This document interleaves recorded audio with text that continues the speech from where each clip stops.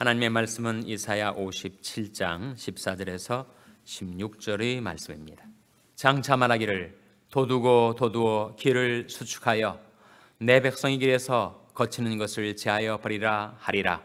지존 무상하며 영원히 과하며 거룩하다 이름하는 자가 이같이 말씀하시되 내가 높고 거룩한 곳에 과하며 또한 통회하고 마음이 겸손한 자와 함께 과하나니 이는 겸손한 자의 영을 소성케 하며 통회하는 자의 마음을 소성케 하려 함이라. 다 같이 읽으시겠습니다. 내가 영원히는 다투지 아니하며 내가 장구에는 노하지 아니할 것은 나의 지은 그 영과 혼이 내 앞에서 곤비할까 함이니라. 아멘. 할렐루야. 서로의 평강의 복을 기원하는 마음으로 샬롬 인사 나누시기 바랍니다. 샬롬. 샬롬 오늘도 토요 새벽 기도에 잘 나오셨습니다. 오늘이 며칠이지요? 오늘이 7월 11일 2015년도도 이제 막 반환점을 돌아서 빠른 속도로 어, 진행되고 있습니다. 이 물처럼 흐르고 살처럼 날아가는 빠른 세월 가운데서 하나님께서 우리에게 주신 은혜가 무엇인지 또 그 은혜를 힘입어 우리가 감당해야 될 사명이 무엇인지 오늘 하나님의 말씀 우리에게 밝혀주고 있습니다. 먼저 15절 말씀 다시 한번 같이 읽겠습니다. 15절 말씀 시작. 지존 무상하며 영원히 거하며 거룩하다 이름하는 자가 이같이 말씀하시되 내가 높고 거룩한 곳에 거하며 또한 통회하고 마음이 겸손한 자와 함께 거하나니 이는 겸손한 자의 영을 소송케 하며 통연한 자의 마음을 소송케 하려 함이라. 하나님에 대한 세 가지 묘사가 나오지 않습니까? 지존 무상하며 영원히 과하며 거룩하다 이름하는 자. 하나님은 지존 무상하십니다. 세상에 많은 신이라 일컫는 존재들이 있지만 하나님은 모든 신 위에 진정한 참 하나님이 되시고 이 세상에 주라 일컬음을 받는 자들이 많이 있지만 오직 하나님께서 만유의 주, 만민의 주, 만물의 주로서 오직 하나님이 지존 무상하시죠. 우리는 신 중에 신이시고 주 중에 주가 되시는 살아계신 참 하나님 지존무상하신 하나님을 경배하며 섬기는 자들입니다. 둘째로 영원히 과하며 하나님은 영원하신 분이시죠. 어, 영생하시는 하나님이라고 성경은 증가한 바가 있습니다. 그런데 하나님은 영원히 과하시며라는 이 말씀의 본 뜻은 하나님은 영원에 과하신다라는 뜻이죠. 우리는 어디에 있습니까? 우리는 어디에 과하죠? 우리는 시간과 공간 안에 거합니다. 시간과 공간이 제약을 받고 사는 인생들이죠. 그렇기 때문에 우리는 내일 일을 알지 못합니다. 우리 우리가 한 군데에 있으면 다른 군데에 있질 못하죠.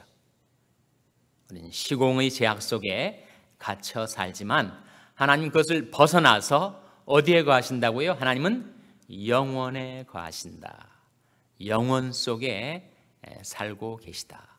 그러니까 시공 밖에 계시니까 우리처럼 시공 안에 갇혀서 내일을 알지 못하는 인생이 아니라 하나님은 영원에 거하시기 때문에 영원부터 영원까지 주는 하나님이시고 그래서 우리 인생을 하나님은 한눈에 내어다 보십니다.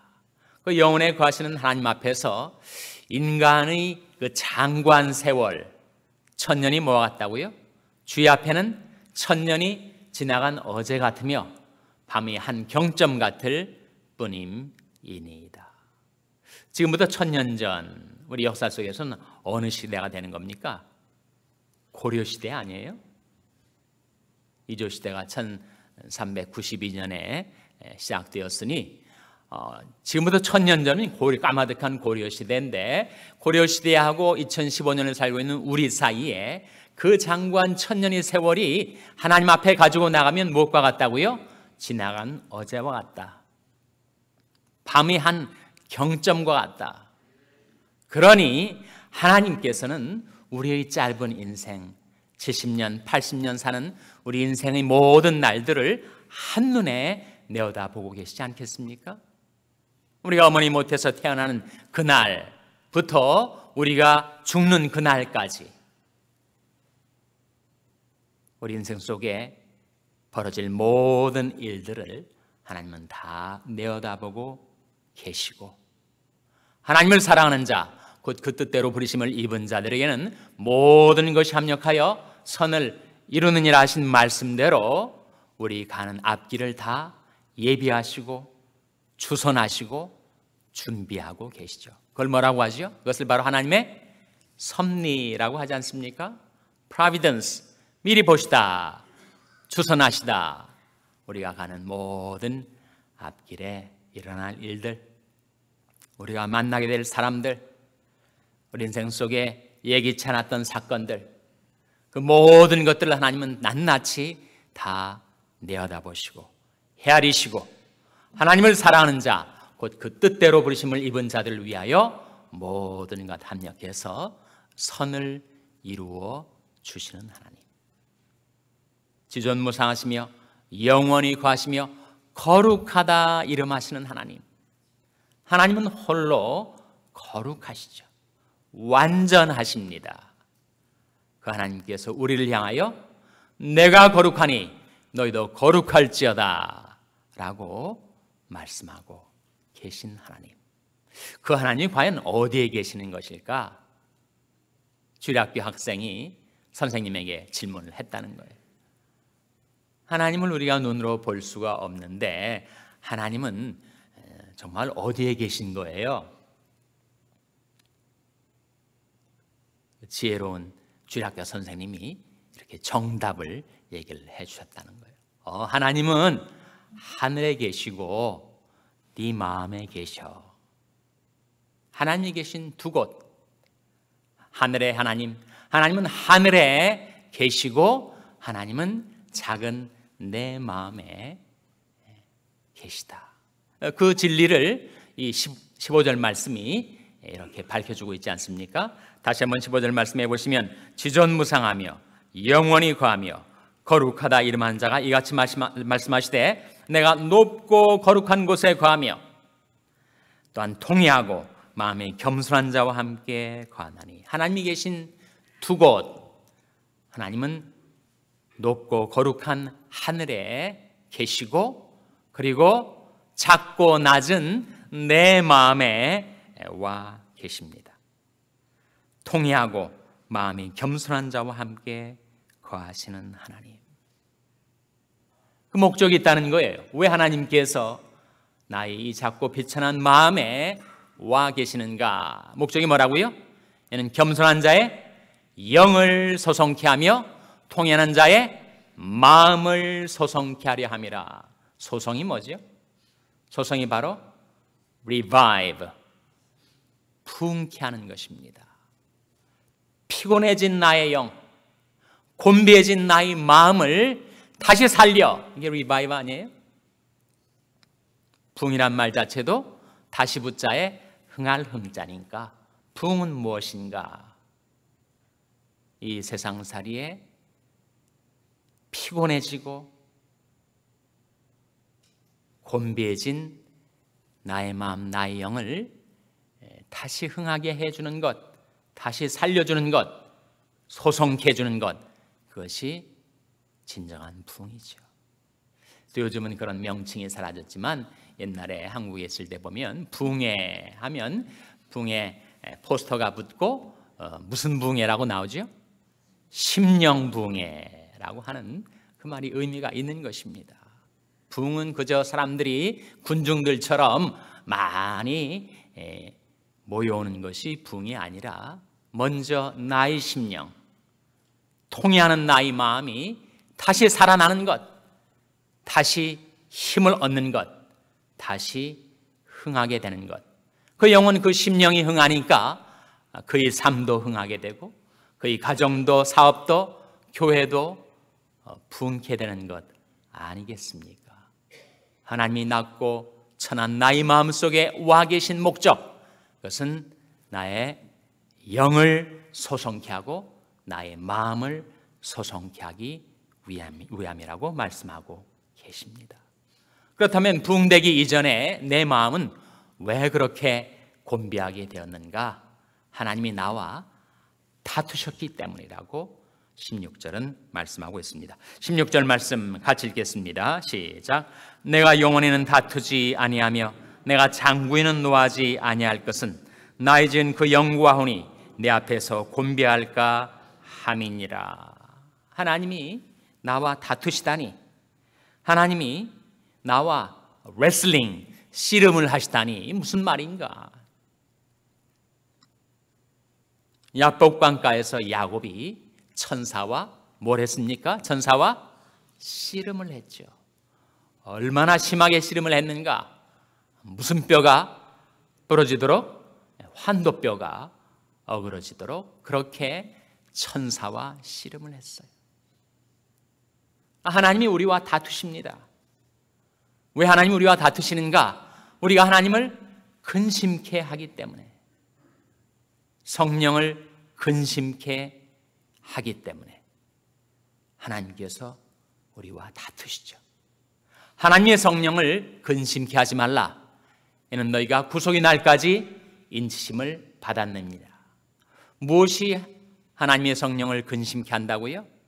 거짓말, 분냄, 도적질, 더러운 말, 내 마음의 악의와 악독 이런 것들이 있으면 내 안에 와 계신 성령이 근심하시고 탄식하신다 하는 거예요. 그것을 내가 자복해내고 통해내고 그것을 회개하고 버릴 때까지 하나님은 계속 나와 스트럭을 하십니다. 나도 그것 때문에 스트럭을 하지만 하나님도 내 영혼과 씨름하시느라고 그렇게 스트럭을 하고 계세요. 마침내 내가 깨닫고 돌이켜 나의 죄를 자복하고 하나님을 근심케 할 일들을 버릴 때까지 나와의 씨름을 계속하고 계신데 나의 연약함을 아시는 하나님은 언제까지나 그렇게 나와 다투시고 내게 노하시는가? 그렇지 않다는 거예요. 16절 말씀에 내가 영원히는 다투지 아니하며 내가 장구에는 노하지 아니할 것은 나의 지은 그 영과오니 내 앞에서 곤비할까 함이니라. 너무 피곤해져 가지고 너무 낙심이 되고 너무 절망이 돼서 도저히 회복 불능의 상태에 떨어지지 않도록 하나님께서 나를 다루시는 그 손의 강도를 조절하고 계시죠.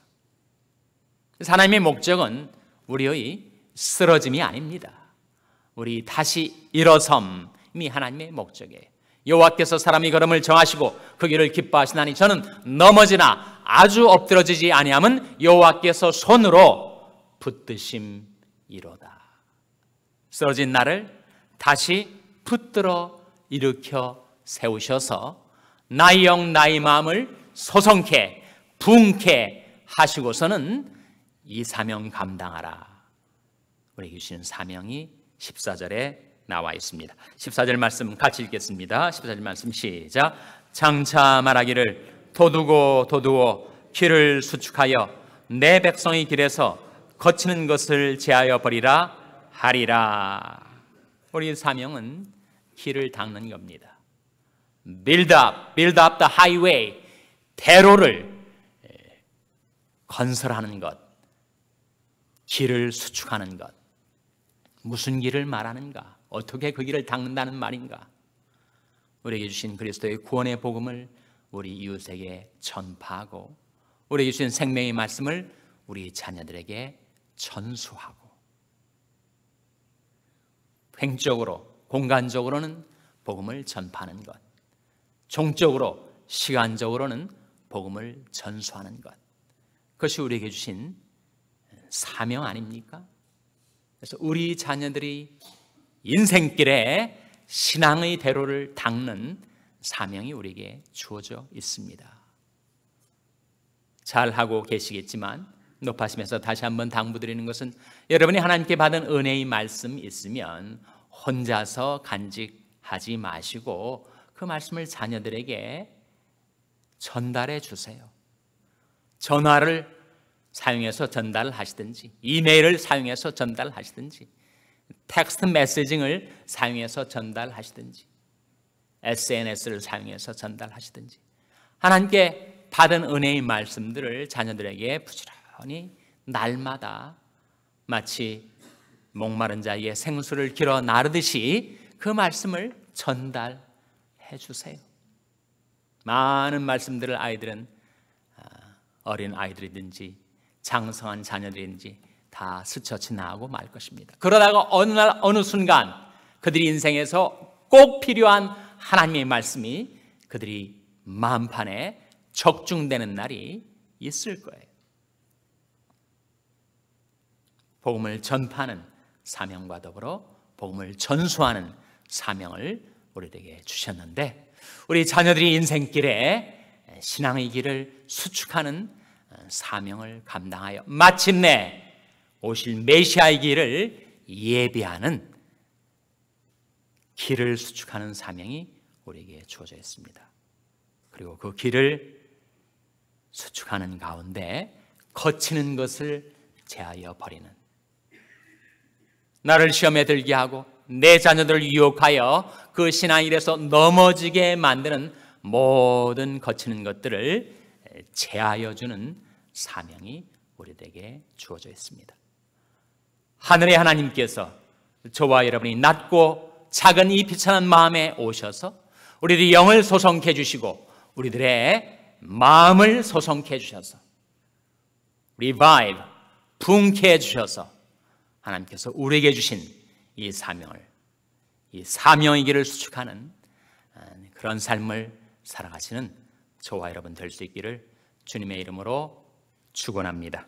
기도하시겠습니다. 오늘 말씀 기억하면 하나님 저희들이 소송케 된 영과 마음으로 길을 닦는 사명을 감당케 해 주시옵소서 기도해 기도하시기 바랍니다. 우리 자녀들을 위해서 기도할 하나님 저희들에게 주신 말씀 저희들에게 주신 이 신앙의 유산을 저희 자, 자손들에게 물려줄 수 있도록 도와주시옵소서 기도하시기 바랍니다. 우리 자녀들을 위해서 기도할 때는 저희 자녀들이 세상 삶에서 곤비치 않게 그 영과 마음을 소성케 주시옵소서 위하여 기도하시기 바랍니다. 평생 있는 연약한 지체들을 위해서 기도하실 때 하나님 곤비해진 그 영과 몸을 생명의 성령으로 소성케 하여 주시옵소서 위하여 기도해 주시기 바랍니다. 우리 샬롬 교회를 위해서 기도할 때 하나님 저희 샬롬 교회가 오직 하나님만을 경배하며 섬기는 가운데 하나님의 은혜로 분케 되어 맡겨진 사명 감당케 하여 주시옵소서 위하여 기도해 주시기 바랍니다. 여러분의 생업을 위해서 기도하시고 말라위 김용진 선교사님을 위해서 기도해 주시기 바랍니다. 하나님 저희들을 성령으로 충만케 하셔서 분케 하시고 사명 감당케 하여 주시옵소서 이런 제목들로 우리 합심해서 기도하겠습니다.